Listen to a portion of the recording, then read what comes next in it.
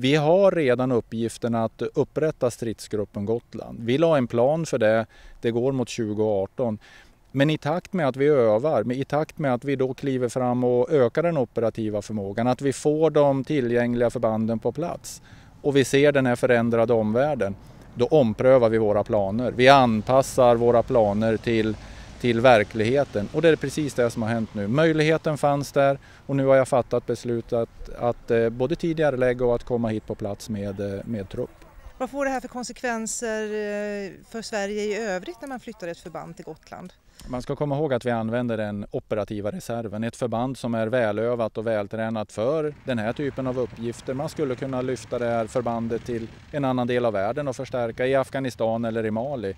Så någon direkt konsekvens behöver det inte få. Men det är ju så att det är en resurs som vi behöver använda och det blir merkostnader för att eh, göra det här det är en, eh, en uppgift för, för mig och Försvarsmakten nu att titta på. Vi kommer att ta de kostnader som uppstår inom ramen för det anslag vi har.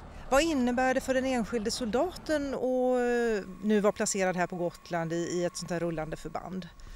Om, om, man ska se, om man ska hitta någon negativ aspekt så är det att eh, soldaten eller befälet inte är hemma nära sin familj eller där man bor utan det är att man nu är på en annan plats och genomför sin verksamhet. Men det positiva är, det är ju nu att komma till Gotland som är ett av de eh, viktiga strategiska områdena militärt sett i Sverige parallellt med eh, andra områden, Storstockholmsområdet, västkusten eller Norrland för den delen.